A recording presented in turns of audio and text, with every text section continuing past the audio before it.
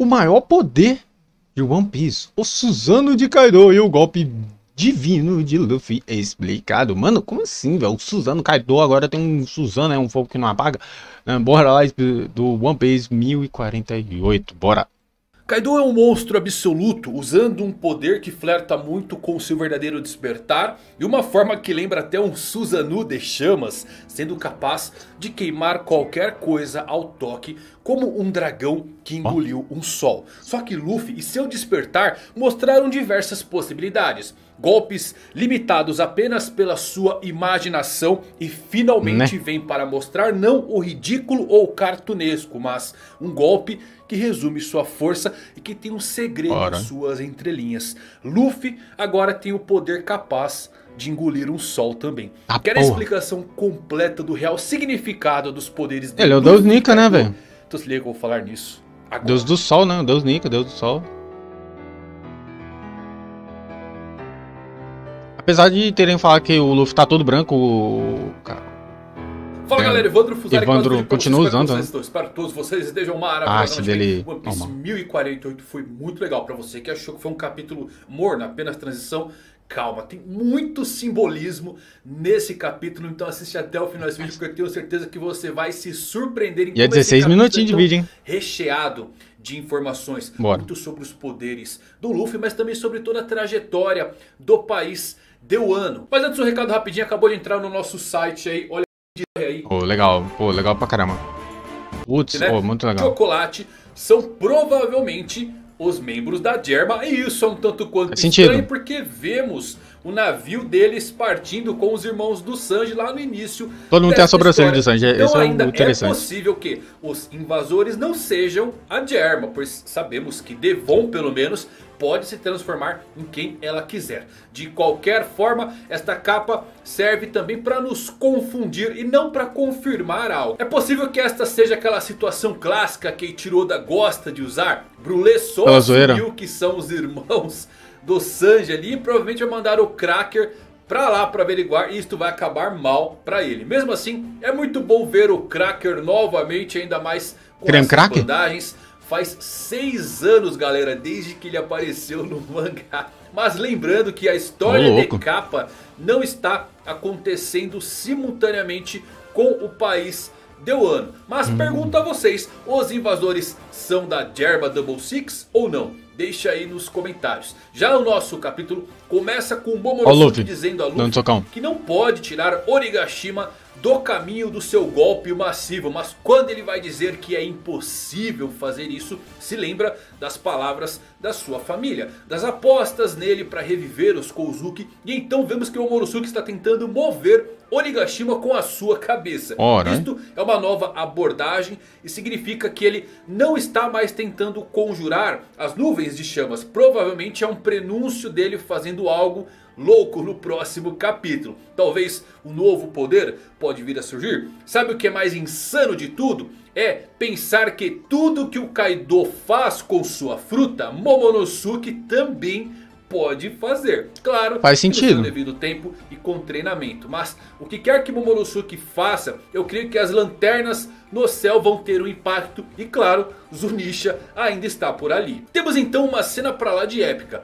Kaido decide encarar o gigantesco punho de Luffy com tudo. Que isso, o cara vai, o cara vai tancar o socão. herói da nação de Wano que vai foi tancar queimado até a morte. Kaido então começa a produzir chamas e oh. se envolver nelas, criando um poder chamado de o Grande Dragão de Fogo. Luffy toca Kaido nesse momento e se queima. O mesmo acontece com Borracha, os né? chifres de Onigashima que simplesmente é carbonizado Carai. em apenas alguns segundos. Kaido aumenta muito de volume e é possível ver ele dentro desse dragão de chamas. Isto é insano. Hum. É como se fosse um Susanoo de fogo. O fato curioso é que o golpe do King se chama Omorikari Udon. Parece uma cópia desse golpe do Kaido. Isto realmente mostra o quanto o King respeita Kaido desde Carai. que ele foi resgatado lá de Punk Hazard. O pior que faz vale sentido, né? que esse golpe do Kaido também pode ser traduzido como o tambor flamejante, o que adiciona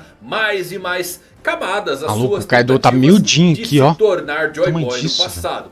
Kaido quer derreter Luffy, Caralho. mas o chapéu de palha brada que o Ryu que ele aprendeu está totalmente ativo e que não precisa tocar Kaido para o derrubar. E então Luffy nomeia o seu novo ataque como Gomu Gomu Bajirang Gun, que significa Deus Macaco. Vale Caralho. notar que Bajirang é outro nome para o Deus Hanuman, o Deus Macaco hindu. O Macacoema, inclusive, né? Deu origem a Sun Wukong. O- o- é, Son é Uma Kong. dica incrível que eu já vou contar pra Ô, louco, vocês. Mas antes vamos falar um pouquinho mais desse confronto. Kaido mostra realmente um poder incrível, queimando É? até mesmo o chifre de Onigashima com muita facilidade. O que significa que ele é muito mais poderoso do que imaginávamos. E está bem Nem- perto do seu ataque final, ou quem sabe o seu despertar, que nem sabemos se é isso ou não. Eu acho que o despertar sempre vai ter um destaque de alguém falando, mas o que estamos vendo agora é fantástico. Ver Kaido em chamas como uma espécie de Susanoo, Oda fez jus à Susanoo? mais forte do mundo. Não Kaido Suzano, né? É Queima Susanoo. todas as coisas até a si mesmo. Agora é preciso explicar a importância também do É fogo contra fogo, né? para Eu- o Luffy. Por que Haki normal não protegeria o Luffy contra esse fogo do Kaido?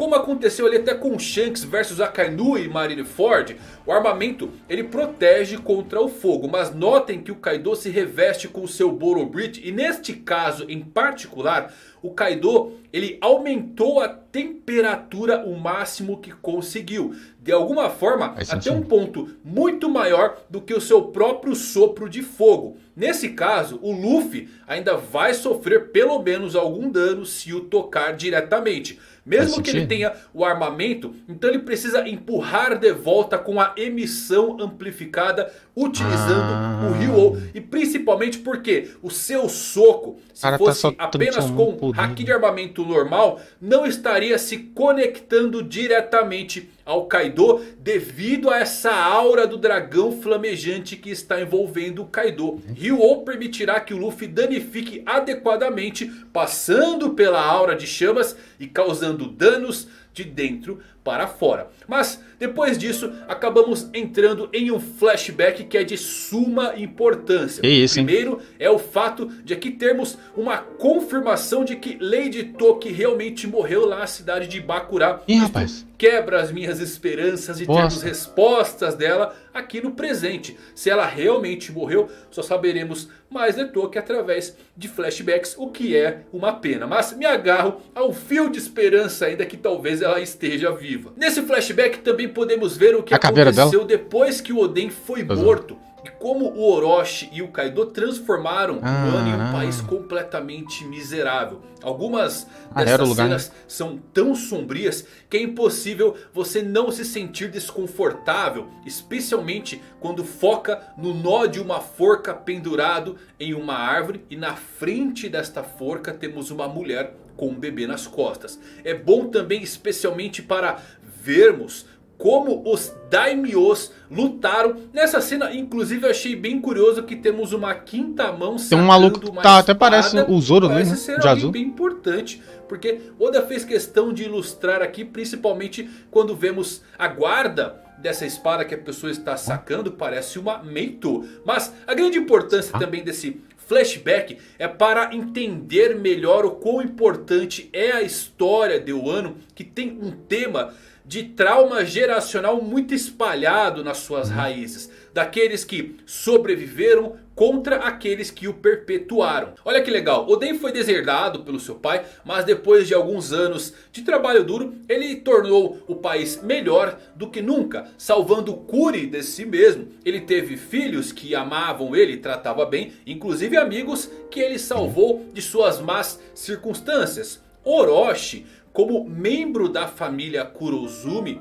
foi perseguido injustamente quando jovem por estar relacionado com o daimyo traidor da sua família. E por conta Mas o disso, Orochi todo também, né, seu irmão? clã foi brutalmente assassinado e torturado. O ano não foi gentil com as ações de um homem ganancioso, mas a próxima geração acabou voltando para mordê-los. Orochi perpetuou esse trauma, tornando o país e arrasando tudo para se vingar. Então você chega em Kaido. Ele parece também ter algum tipo de trauma relacionado ao Rocks. Possivelmente quando ele diz que piratas sempre vão te trair ou eles vão se virar e fugir. E também como ele foi experimentado lá em Punk Hazard. Como um monstro que tenta tirar sua vida, ele colocou a ideia de solidão e desesperança até mesmo em sua filha e na nação que ele conquistou. Ele tenta mostrar honra porque valoriza isso, mas é completamente Kaido é muito... vazio. Por fim, Kaido é muito voltamos da ao hora. presente e vemos um herói, Orochi em chamas querendo levar Komurasaki com ele para a morte, mas eis que nosso sumido Denjiro surge e dá um golpe na cabeça final de Orochi. E eu pirei nesse momento, galera, porque Denjiro salvando Hiyori, no original japonês, ele acaba dizendo a mesma linha que disse quando, entre aspas, matou o Koburasaki lá no final do capítulo 932. Só que desta vez, ao invés de matar Koburasaki na frente de Orochi, ele mata Orochi para salvar Koburasaki. Simplesmente genial. Se tem um personagem que tem mais problema pessoal com Orochi, esse alguém é Denjiro. Ele foi forçado a colocar uma fachada por 20 anos e trabalhar diretamente com esse Isso. usurpador. Imaginem a agressão reprimida que ele tem em relação ao Orochi. Eu, obviamente, preferia que fosse Komurasaki a dar o golpe final no Orochi. Já que ela está dentro do castelo que não era para estar para fazer o quê? Tocar música? Não, deveria dar o golpe final. Mas mesmo assim, a Tocar cena música. ainda foi bela. Um pensamento que eu acabei tendo. Vocês acham possível que o rosto do Denjiro pode mudar de volta até o final do arco de Wano? Ah. Do banquete, quem sabe, da salvação? Poderíamos ter o seu rosto voltando ao normal com um sorriso comum? Seria muito legal. Por fim, fechamos o capítulo com as lanternas do povo da capital das flores subindo em alguns desejos sendo mostrados. Um deles até já se tornou verdadeiro, o que pode significar que o resto Kaido das mensagens que vimos também vão se tornar verdadeiras. Quem sabe já no próximo capítulo, sendo aí um prenúncio de Luffy ganhando. Quem sabe uma lanterna também pode alcançar o Luffy nesse momento e o faz ele sentir mais determinação Uh, para libertar a ilha de Wano de Kaido. As últimas cenas são a lanterna de Faça Orochi desaparecer, seguido por um zoom no rosto Caralho. de Denjiro depois que a cabeça da serpente de fogo de Orochi cai. E depois vemos a lanterna, liberte-nos deste inferno, seguido por um zoom também no rosto de Luffy quando ele está prestes a acertar a cabeça do dragão de fogo de Kaido. Esse capítulo, galera, é muito temático, gira muito em torno do fogo e da Ó, liberdade. fogo tem Desde tudo ali, né? dele, Kaido se incendiou e anunciou que o herói de Wano morreu queimado. Seguimos então para todo um flashback que nos leva novamente ao castelo Odeio, né, em chamas. O início da escravidão de Wano nos é mostrado Tamanho do Kaido, irmão. Orochi Cara, é giga demais, é normal. a este país. E quando o flashback termina, estamos de volta focando em Orochi sendo engolido pelo que? Chamas. No final, Orochi está caído e Kaido ainda continua lutando com Luffy. Mas o que eu realmente entendi de toda a simbologia deste capítulo é que as chamas são representadas de duas maneiras diferentes. fala que tem uma chama primeiro, branca, né, do- fogo que queima e destrói. Luffy, Aquele que Oden ficou, que queimou o seu castelo, que tirou a liberdade deles. E a segunda é a chama que ilumina a escuridão, que representa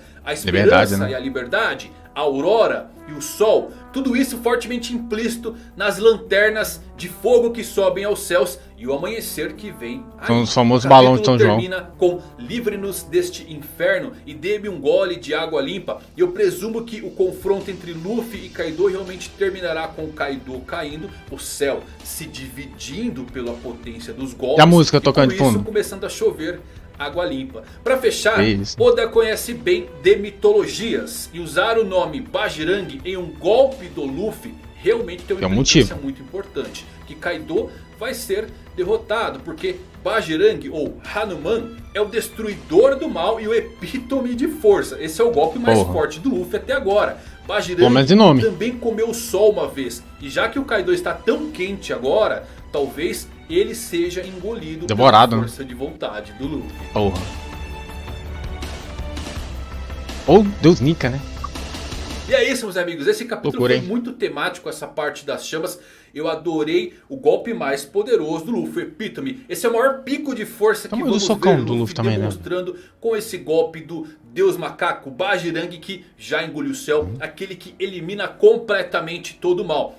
Se você pegar a conexão da vai ser, tipo, eu acho que o último golpe. ali antes do Denjiro e essa do Luffy, está fortemente implícito que o próximo capítulo deve ser o grande O desfecho. final Mas antes tem que contar um pouquinho decisivo. mais do flashback aí do Kaido, quem sabe mostrar o que, que é o seu despertar. De qualquer Esse é forma, hora. esse é o maior pico de poder de One toda a Piece. série que já presenciamos. Maior até do que aquela combinação de Kaido e Big Mom desferindo um ataque massivo. Luffy versus Kaido é sem dúvidas A luta mais- Uhum. de força. Dois engolidores do sol. Quem vai se sobressair nesse duelo das chamas? Aquele que queima ou aquele que salva? É isso. Espero que vocês Isso. tenham gostado. Não esquece de entrar aí no link da pior geração e garantir o seu quadro de Ó, Nika Luffy. Meus amigos, cara, até a próxima. Valeu por assistir. Fui. Mano. Da hora, mano. Eu quero saber quando, tipo, se esse não for o último golpe, né? Tipo, ah, eu tomei um socão, eu tô aqui, pá, aí eu volto mais forte ainda. Vai virar um Dragon Ball, né? Que os malucos vão continuar ganhando o pico de poder. Daqui a pouco o Luffy e o Kaido vai se tornar dois ex-máquina, tá ligado? Dois deuses ex-máquina que são, tipo, full overpower e, tipo, porra, como é que. Aí, tipo, nossa, vou criar um poder aqui. Mal, mas Kaido pode fazer tal coisa. Não, vou criar um, então outro poder. Mas o Kaido faz tal coisa. Aí os caras vão ficar nisso. né? Então, assim, tá ficando uma loucura aqui o One Piece. Tá saindo dos. Já tá ficando global aqui, escala global, os caras, os malucos. Se bem que global, o, Ba- o Barba Branca, quer dizer, o Bigode Branco já tinha esse poder. Mas deixa nos comentários aí, o que, que vocês estão achando? Será que o último, o próximo vai ser o desfecho aí dessa luta dos dois? E aí a gente vai ter o Barba Negra entrando em ação, né? Começando ali, tipo, roubando a Akuma no Mi do Kaido ali, no momento mais fraco dele? É uma possibilidade. Deixa nos comentários aí o que, que vocês acham, o que, que vocês estão achando. Vou ficando por aqui. Mais uma vez, tô repetindo muito isso. Até a próxima. Mais um vídeo.